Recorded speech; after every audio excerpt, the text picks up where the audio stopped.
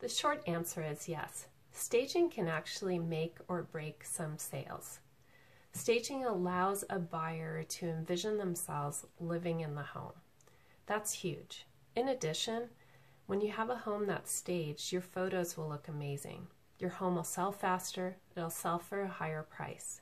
And actually, statistics show that the return on investment for staging is 8 to 10%. Who doesn't want to walk away with more money?